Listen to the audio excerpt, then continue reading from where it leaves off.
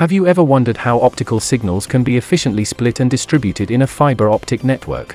Allowing multiple devices or users to access high speed internet, crystal clear voice calls, and stunning high definition TV.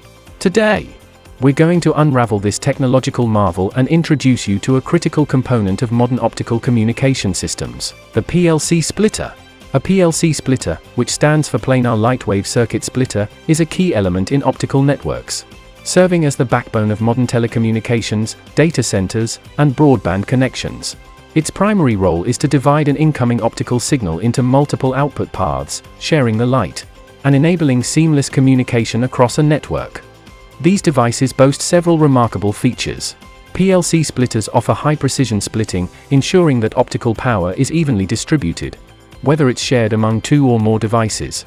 With low insertion losses, they help maintain signal quality. They are compact, reliable, and operate across a wide range of wavelengths, making them indispensable in various network configurations. PLC splitters are found in numerous applications, such as passive optical networks PONs, the foundation of many fiber to the home FTTH and fiber to the business FTTB deployments. They also play a crucial role in data centers, where they distribute optical signals to connect servers and storage devices efficiently.